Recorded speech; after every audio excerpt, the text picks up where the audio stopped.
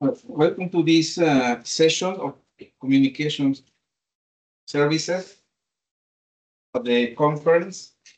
We're going to start with a presentation of the paper titled Performance Analysis of an Amplifier Forward Relay Assisted Communications in the Presence of Double Rayleigh Fading and Shadowing.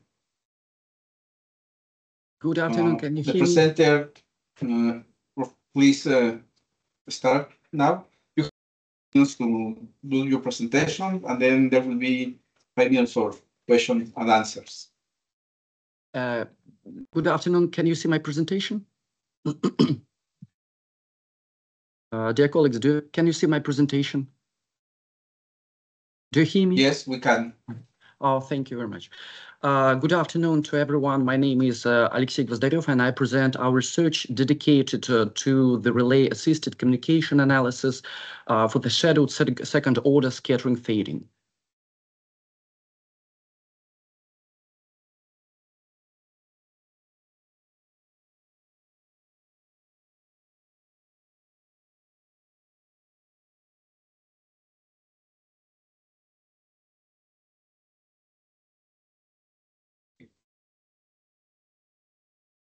Think your microphone is not uh, on. We, we couldn't hear you. Oh, uh, sorry, there's something. Can you hear me now, please? Yes, we can. Oh, okay. Thank you very much. Uh, Again, uh, the primary motivation for the current research was driven by the rapid development massive machine type communications uh, and especially vehicular communications, uh, which include vehicular to vehicular communications, uh, vehicular to pedestrian communications, and uh, in particular vehicular to infrastructure communications. Uh, in the, the last one includes the so-called roadside units, uh, which are the elements of intelligent transport infrastructure which are broadly assumed to be efficiently used uh, not only for uh, service information delivery like uh, positioning, like signaling and uh, warning, but also for routing multimedia data from users to uh, communication operators, base stations, or processing centers. Um, Moreover, the current uh, currently the roadside units are equipped with uh, LTE and 5G models uh, as well as Wi-Fi. Uh, thus, in such scenarios, uh, those roadside units can be efficiently used for uh, re- as relay nodes and most commonly as amplify and forward modes. Uh, the performance of a relay-based communication system generally relies on the propagation environment and especially on fading effects such as uh, slow and fast fading, uh, mainly due to signal and channel variations, uh, shadowing uh, due to traffic obstacles, uh, and as well as diffraction and multiple re- reflections on uh, street corners um, and pipeline channels and intense traffic. Uh, one of the issues with the existing uh, publications uh, on this topic um, is that they mostly assume simplistic models for vehicular to infrastructure channels, mostly Rayleigh channels, Rician channels, or Nakagami channels. And they do not capture the mentioned above effects. Uh, but those propagation effects can be officially uh, statistically described by the so-called uh, double Rayleigh fading models. And the most novel among them is the, the second order scat- scattering fading model with a fluctuating line of sight, which was initially proposed for radio frequency communications, but was also proven to be suitable for free space optical communications as well. Thus, uh, the proposed research uh, presents uh, the performance analysis of the relay-based system with uh, fading channels uh, described with the shadowed double Rayleigh fading model. Uh, within such a model, the received uh, signals envelope uh, is uh, assumed to be is assumed to be composed of uh, three distinct terms: the line of sight component um, with constant amplitudes and uh, uniform phase, and Rayleigh and double Rayleigh scattered components with um, constant amplitudes. It is also assumed that the line of sight component undergoes the shadowing, which is gamma distributed with a unit variance and intensity parameter which controls shadowing, uh, which is denoted as M. Uh, Such a model uh, can be mathematically described in terms of either physical parameters, uh, those are the components of amplitude, uh, components amplitudes, uh, small omega 0, omega 1, omega 2, or alternative set of uh, parameters, relative parameters, uh, alpha and beta, which define um, the Rayleigh, double Rayleigh components factor. It is alpha.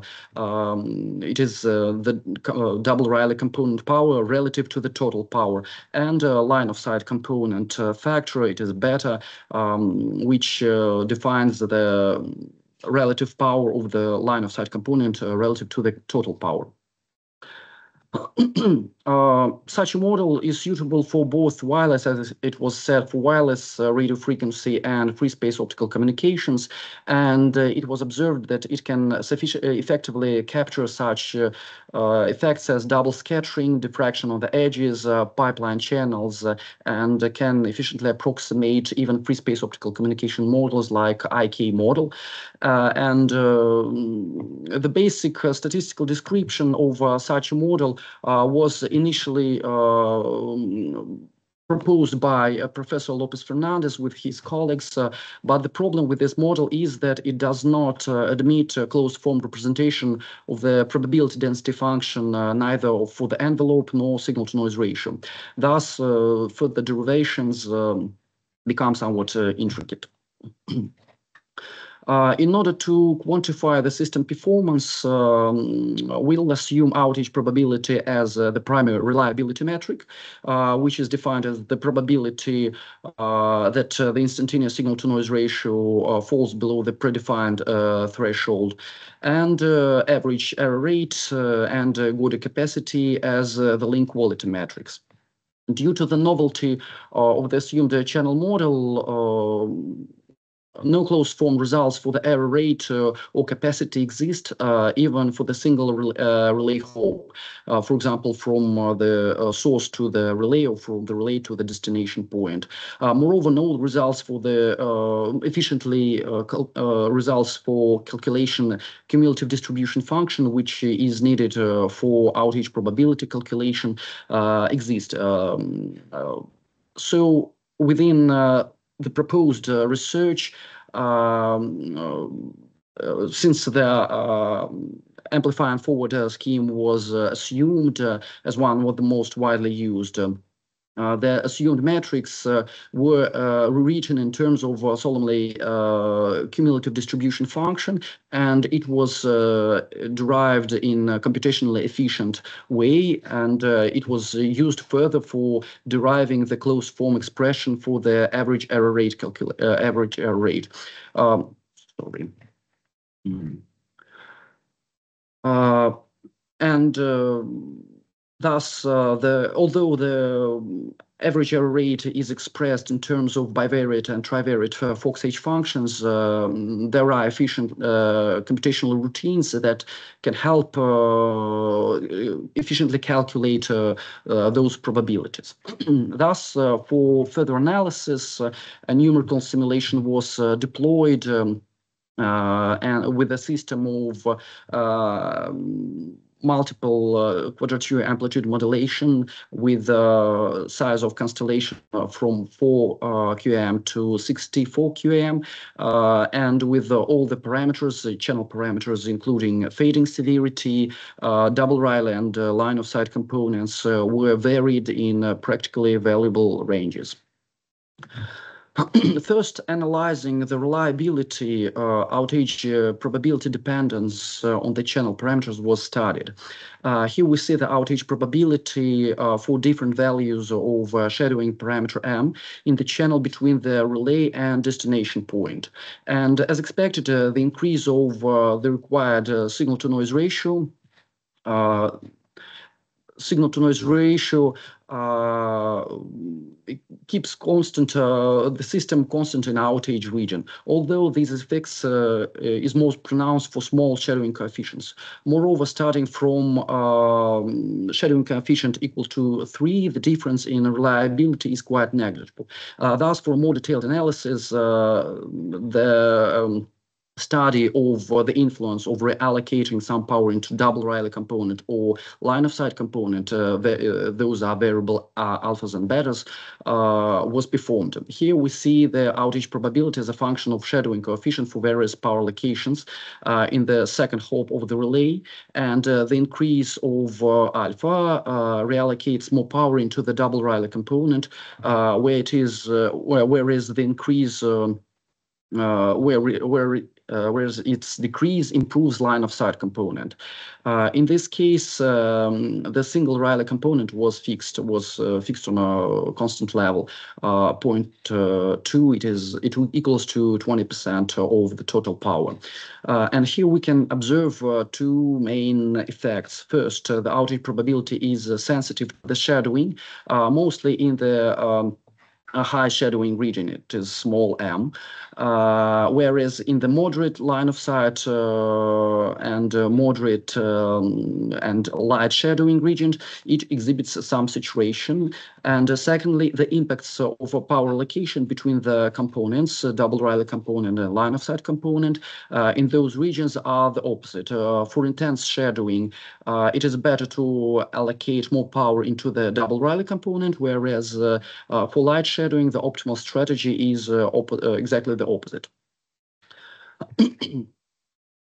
Uh, the dependence on uh, for uh, ergodic capacity, uh, it can be observed that the system exhibits uh, universal penalty uh, compared to the non-fading case, so which ranges from 0.5 bits per second per, per, second per hertz in low signal-to-noise ratio regime, irrespective of shadowing, and up to 1.5 bits per second per hertz for high signal-to noise ratios um, and negligible shadowing. Here we have for shadowing equal to uh, shadowing intensity equal to 10.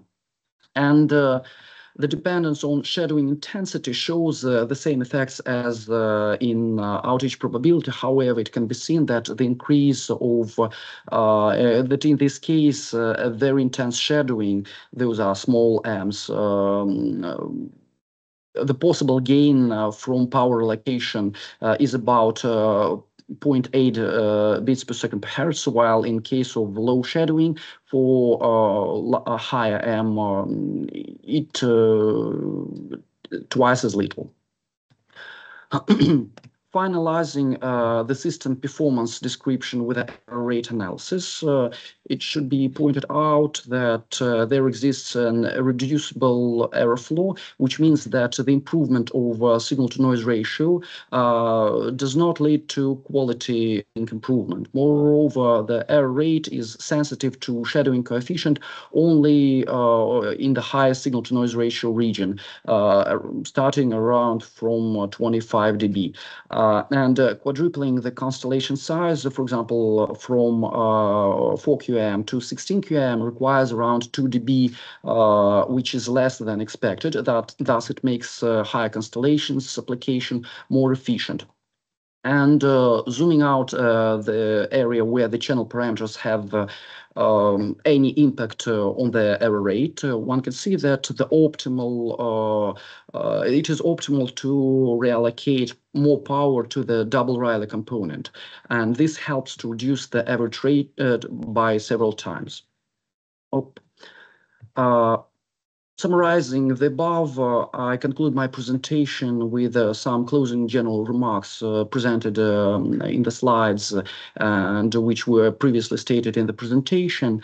Uh, and uh, especially, I would like to emphasize that the combination of the obtained results uh, helps to identify the best strategy for adapting channel parameters, uh, um, which is nowadays can be done by the so-called uh, reconfigurable intelligence surfaces, um, which uh, makes them highly beneficial for the design of future smart uh, infrastructure and wireless communications. Uh, thank you for your attention. I'll be glad to answer your questions. Thank you very much for your presentation. Are there any questions from the audience?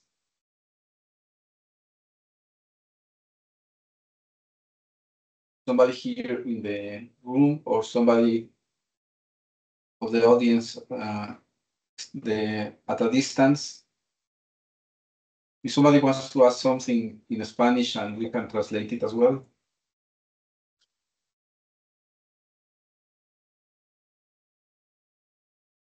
No, well, no, no, no question from the audience.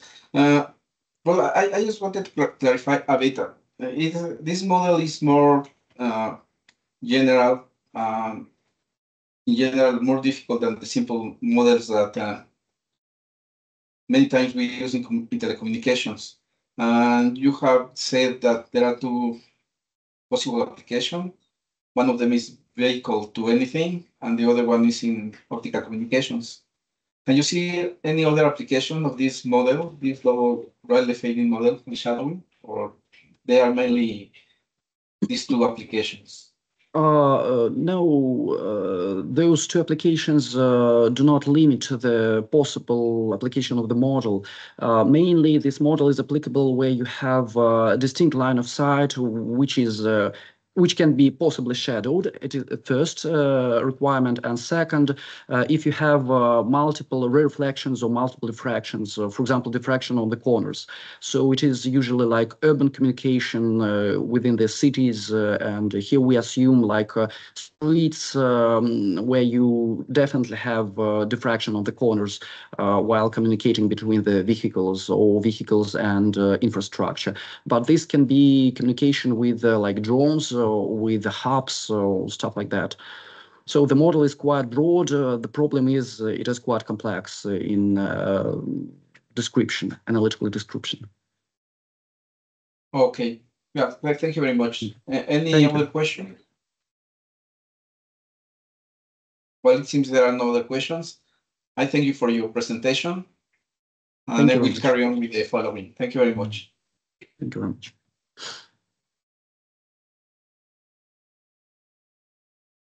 Then we are going to continue with the second presentation of this session. This is a small session. We have only three presentations. Then we are going to carry on with the following presentation, which is FPGA emulation of the physical layer of an uh, 802.11n base trans receiver transceiver. Uh, could you please start with your presentation, please?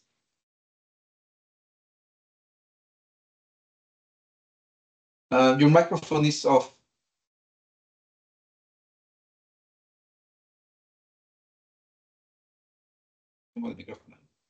Okay. Yeah. There? Yes, you- we can listen to you now. Okay. Can you see the presentation? We can, yes, indeed. Okay. Well, hello. My name is Fernando Lopez Perez, and I'll be presenting the work titled FPGA emulation of the physical layer of an 802.11n base transceiver. Uh, here we have the, the overall contents of, for this presentation with a brief introduction to the 802.11 standard, the transceiver architecture that will be used for this project, and the VHDL emulations done for the project, as well as the conclusions for this work and a few references. Uh, the first of all, the 802.11 standard, it's a standard that was developed to help specify the configurations for both the physical layer and the media access control layer for uh, lo wireless local area networks. Uh, this this this standard has been, has had uh, quite a few of amendments, uh, such as the 802.11a, uh, 802.11b, and much more. But right now, the the one of interest for us is going to be the 802.11n, and mainly we're going to focus on the physical layer. Uh, the physical layer for this uh, standard can be seen in figure one. Here we can see that it can be divided into two sublayers. And the first one is the physical layer convergence procedure, which basically provides the overall configuration for the data and the headers required for to provide services to the MAC layer. And we also have the physical media dependent layer, which is basically in charge of the actual data transmission and reception. Uh, in contrast to the previous amendments, the, the 802.11n standard introduced the multiple input and multiple output technology, uh, where it is possible to use more than one antenna in order to accommodate a larger number of users uh, without losing direct throughput. This technology can be implemented using the Alamouti scheme that is shown in figure one, in figure two, sorry. And here we can see a diagram of a two by two system in which data is transmitted following the sequence shown in table one. Uh, first we send in, in a time t uh, S0 in antenna 0, and then we send uh, in antenna 1 S1. Uh, the following period, we're going to be sending the negative conjugate of S1 in antenna 0 and the conjugate of S0 in antenna 1. And in order to do the decodification for this system, we, we're going to need three, a total of three blocks. We're going to need an, a channel estimator, a combiner, and a maximum likelihood detector, as can be seen in the figure. The overall architecture that is going to be used for this project is the following. that we can see in figure three, we have a, a transmitter in the upper side and a receiver in the lower side. Uh, first, the data in a digital format is going to enter the, the transmitter. Then we're going to be applying a convolutional encoder, followed by a interleaver block, which can be, which will help us rearrange the information so we can avoid errors during transmission. Then we're going to be implementing a, a QAM modulator, followed by the space-time encoding using the Alamouti scheme previously mentioned. And finally, we, we're going to be applying of the OFDM using an IFFT operator. Then in the reception, we're going to be receiving the data through the FFT operator in order to do the demultiplexing of the data, followed by the space-time decoding of the Alamouti scheme. And then we're going to be apply, applying a, a QAM demodulator followed by the 8-day interleaver in order to once again rearrange the information to its original sequence. And finally, uh, we're going to use a Viterbi decoder in order to revert the convolutional encoder that we apply in transmission. Uh, next, we're going to be seeing the emulations done for each of, of the blocks previously mentioned. Here we can see that uh, we have in figure four uh, the signal name data in contains the message that we're going to be uh, sending. Uh, we can see that is a bit stream of, of data. And the output of the convolutional encoder can be seen in the signal com data, which uh, is going to contain a total of two bit streams as, as the architecture of the convolutional encoder is going to, to work. Then we're going to be having the interleaver block. For this block, we need to store all of the bits that are coming from the convolutional encoder in a single vector in order to do the rearrangement of the data. Here we can see that we have a valid signal that is going to tell the block when uh, the data can be rearranged. And the rearrangement of the data is shown in the signal interleaver data in an hexadecimal format. This data is then going to be, we're gonna be applying a modulator. Uh, in this case, we're gonna we're going to be using a 4QAM and we can see the signal D in where we have the, the data uh, divided in segments of four bits, which will then be, be modulated. We're going to be having the outputs I out and Q out. And we can see that we have four possible values for this data, which is going to be three, one. In this case, we are representing in hexadecimal form. So we have F and D, but they correspond to minus one and minus three. After doing the QAM modulation, we're going to be applying the MIMO Alamouti scheme. And in this case, we're going to be using the for the two components from the QAM. So we're to be receiving, we're to be having four, a total of four signals. We're to have the signal for the antenna zero and antenna one for each of the components, uh, which can be seen in the, in the figure.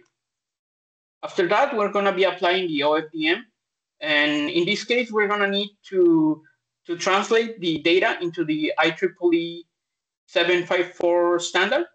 Uh, and in order for the IP block that was used for this operation to work, and we can uh, use a valid signal in order to tell the block once again when the data is already translated, so it can proceed with the with the processing of the data. We can see that we roughly are going to be having a 15 microseconds of of processing time. And here we can see the, the output of the block. We, we have a, a transform length of 16 corresponding to the data that we're gonna be input. And in the value section of the of the signals, we can see that the the format for these values is in the IEEE 754 standard. Next, we're going to be entering to the receiver where we we're going to be applying the, the, the, the modulation of the OFDM using the FFT operation. Once again, we're going to be using some valid signals to tell the system when the data is ready to be processed. And after that processing time, we can see here uh, the process of the data conditioning and the scaling that we had to do in order to revert the IEEE standard and uh, also the the information. As we can see in the in the upper upper part of the figure, we have the data in the format of 48, 16, minus 48, 0.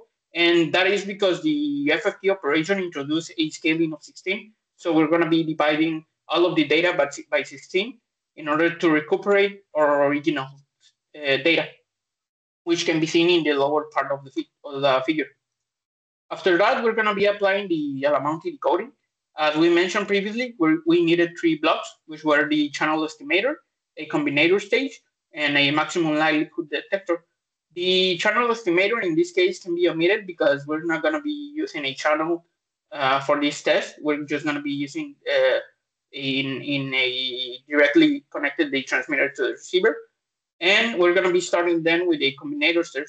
Here we have the four original uh, data that came out from the FFT operation.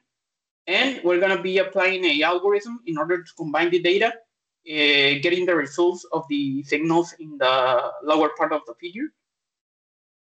We then later are going to be implementing the maximum likelihood detector in order to recuperate the data uh, resulting in the two components that were originally introduced by the QAM modulation. After that, we're going to be applying the demodulation using a demultiplexer. And we can see once again the values of 3, minus 1, 1, and minus 3. And these values are going to be converted to the to a single uh, data stream, which is divided in, in sections of 4 bits. This, this data stream is then later to be stored in a single vector in order to do the interleaving that we originally did in order to rearrange again the data into its original sequence.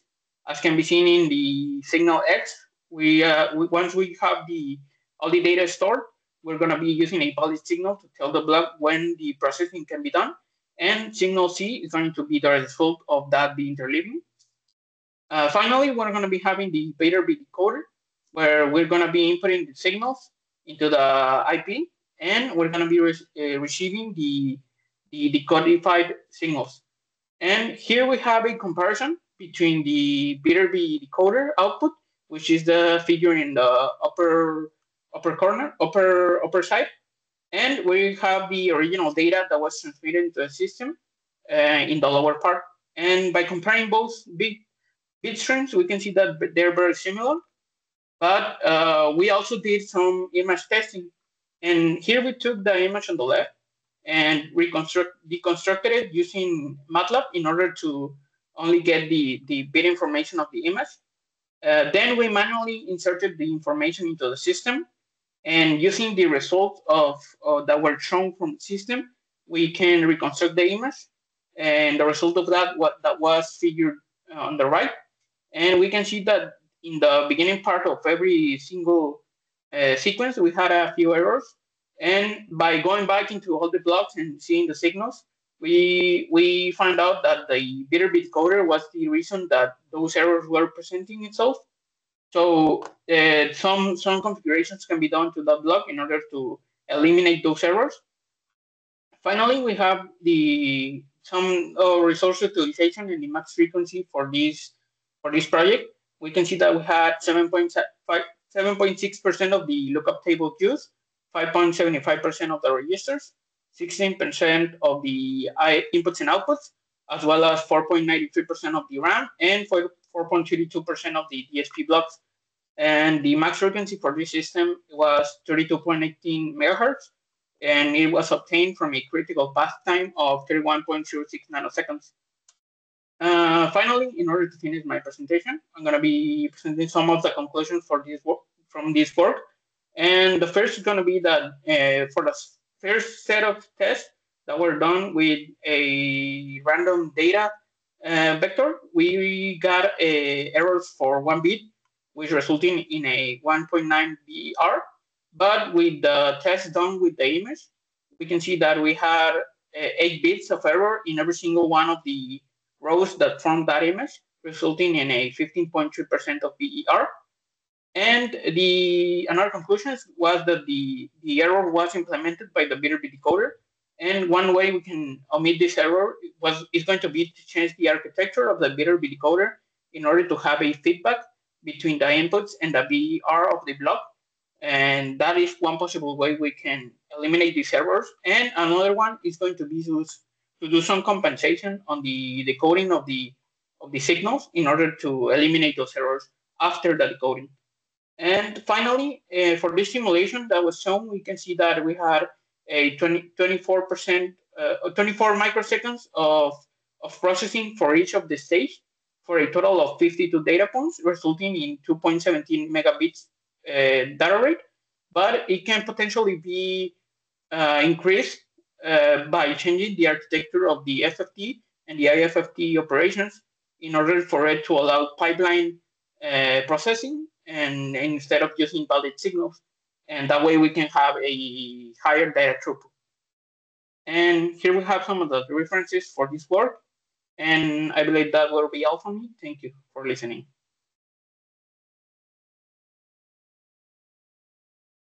Okay, thank you very much for your presentation. Uh, is there any questions from the audience?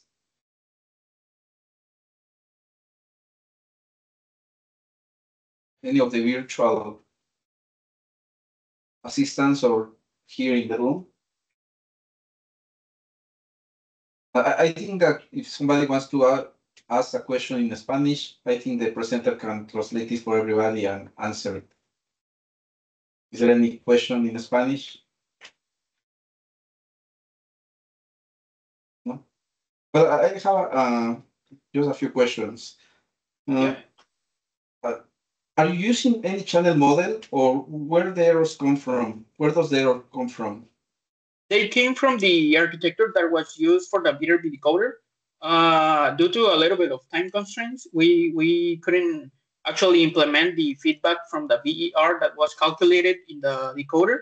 So there were a few errors coming from that specific block. Uh, that's why in, in future works, we could potentially change the architecture or we can do some compensation for those errors. Okay, but you, you are using you are not using any channel any any model for a channel, so it's a, a yeah, back-to-back right. implementation. Yeah, yeah. Right now we're not gonna we're not using any channels, but again for future work it could potentially be done in order to have a more uh, rigorous test for the system. Okay, and, and the other question is. Uh, what is novel in this implementation that you are doing compared with what is, is existing in the literature? Well, mainly that uh, it was it was simulated in F, in FPGA in order to prove that it can be it can be uh, implemented in an FPGA to, for, to further uh, support the development of SDR uh, architectures, and that way we can foment the the evolution of these technologies Okay. Well, uh, I ask again, any questions from the audience? No? Well, if there is no more questions, we thank you for your presentation. Okay, thank you.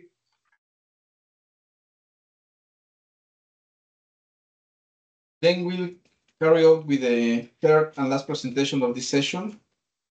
Uh, the work is uh, titled Graphical Interface for Obtaining Lyapunov Exponents in Fractional Order Chaotic Systems. Uh, you, you can start your presentation, please. Okay, hello. Uh, can you see my slides? Yes, we can see and we can hear well. Okay, thank you.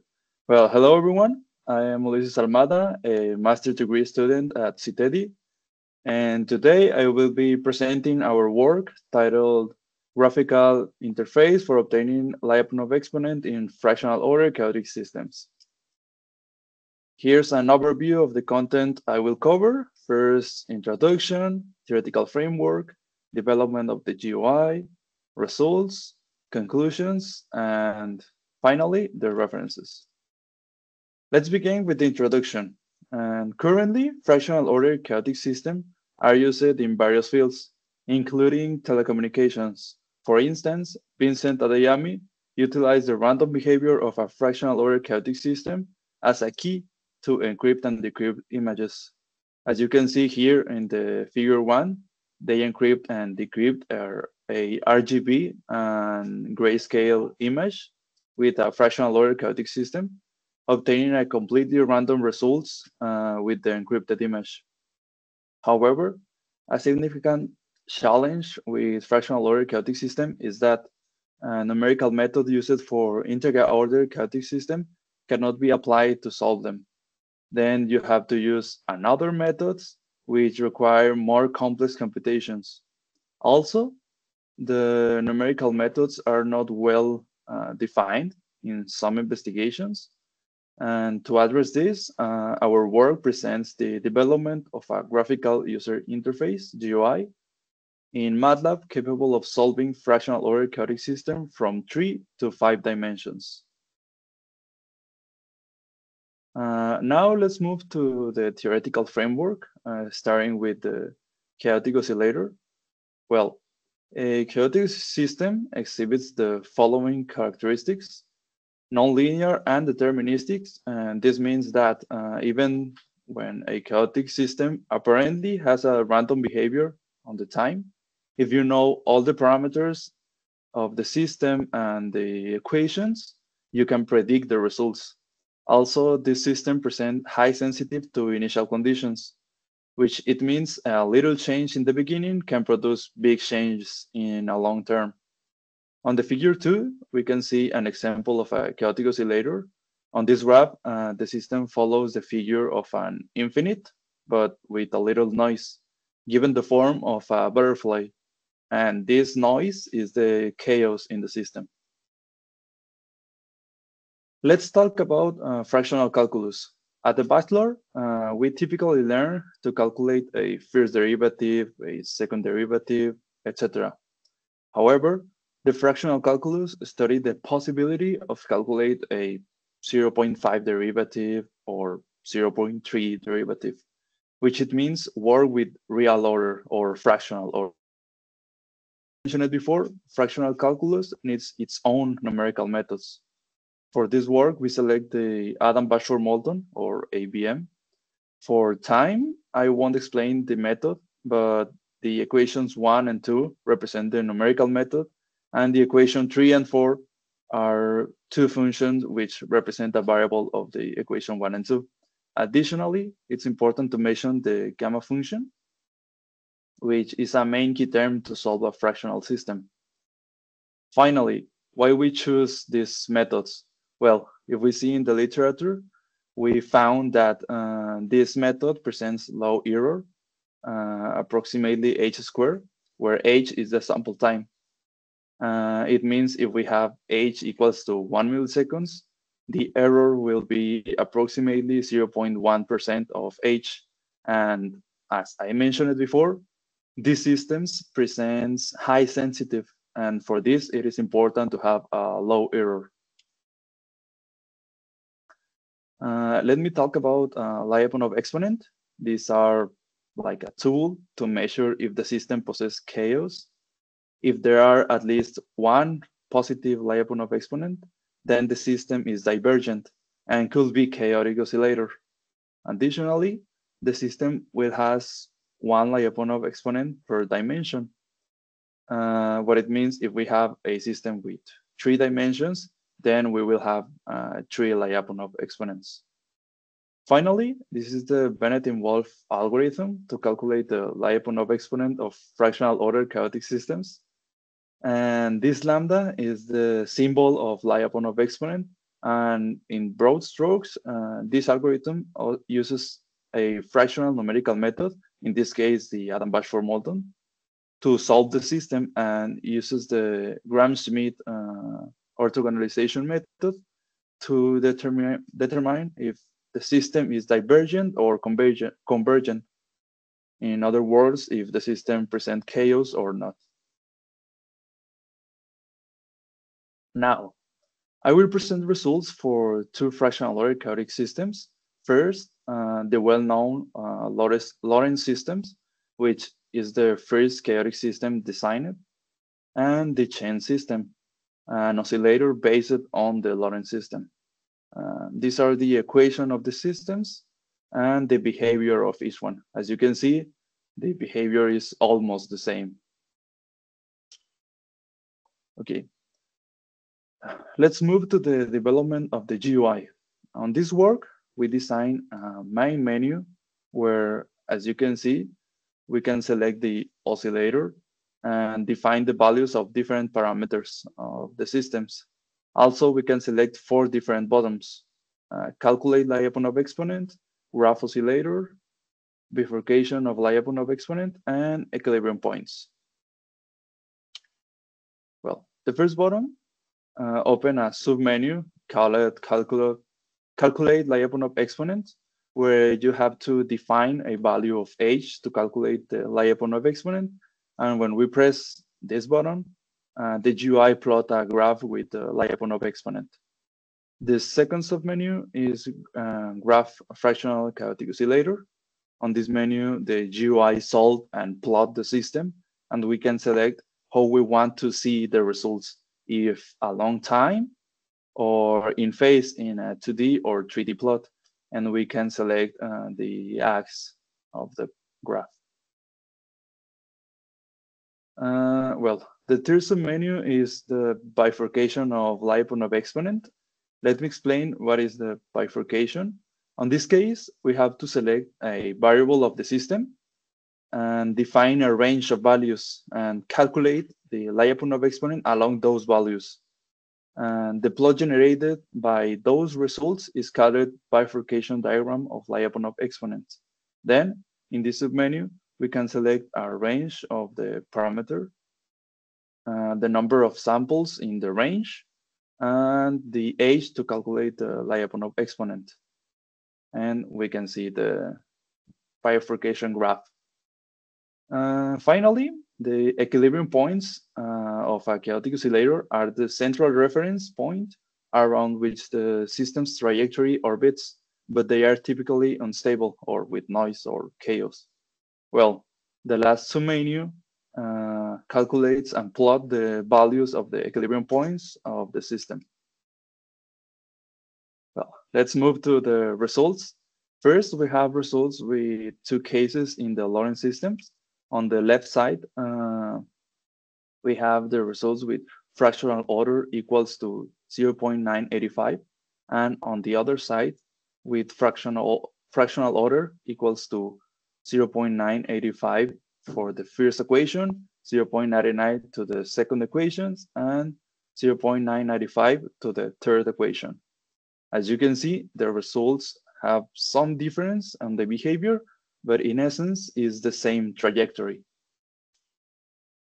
Now, if we pass to the Lyapunov exponent, we can see almost the same results, but in the in the case with different fractional order, in this case, the positive Lyapunov exponent is a little higher than the case with the same fractional order, then it's a little more divergent or a little more, more chaotic.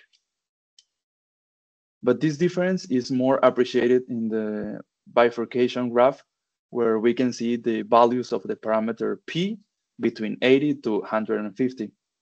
In the case with different fractional order, one Lyapunov exponent, this the blue one, uh, is always higher than zero. By other hand, in the case with the same fractional order, there are some values of p without positive Lyapunov exponent, like 95, well, like with p equals to 95 or p equals to 115. Then the case with different fractional order is more divergent or chaotic than the other. Finally, in both cases, we obtain the same equilibrium points, and these are the, the values.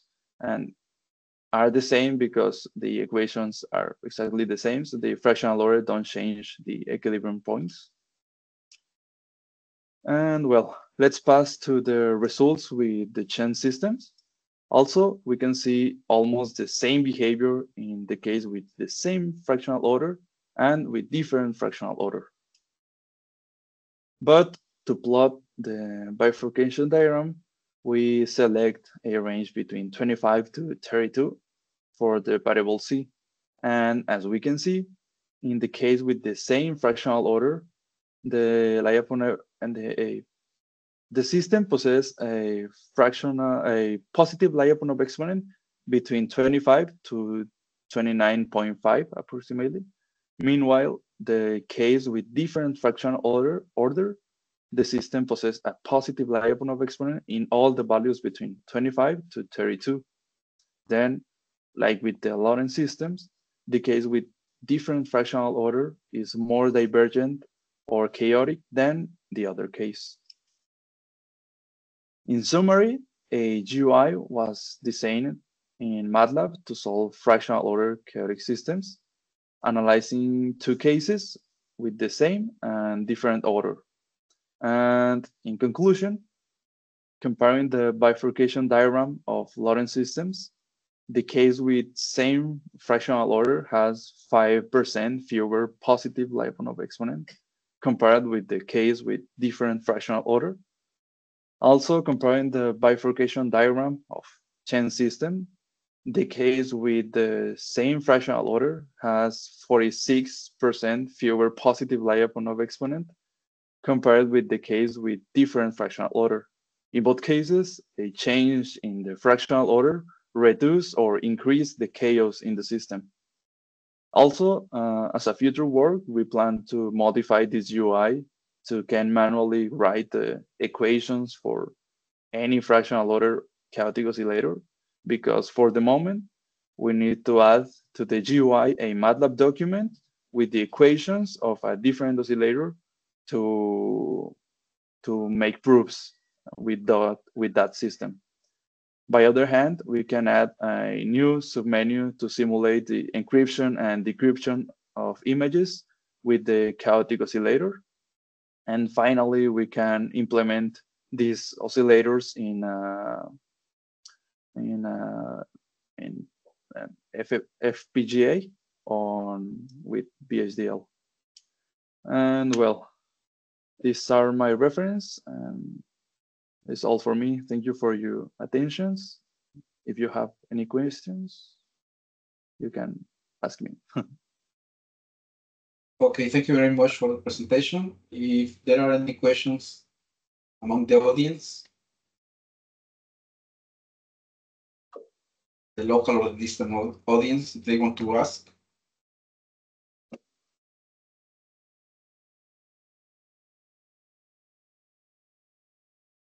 Well, uh, I just have one one question. Um, mm-hmm. What use do you foresee for your development? Are you planning to use it yourself only as a research tool, or are you planning to to share it so that uh, other users can use your development?